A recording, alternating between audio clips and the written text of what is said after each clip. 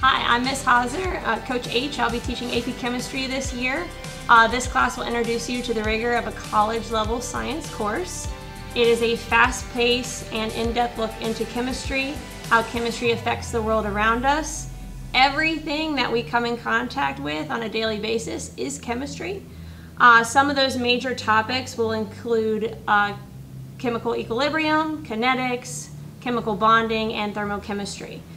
Uh, this class will be a flipped classroom, allowing students to take most of their notes at home and utilizing class time for laboratory experiments and solving complex world problems with classmates. You should take this course if you enjoyed Chem 1 and want a deeper understanding of the world around you. Uh, if you plan on going to college for any science or engineering course, uh, if you like a challenge or if you um, want to truly be prepared for college, um, if chemistry, uh, chemistry is tough, but is a rewarding course to jumpstart your college career.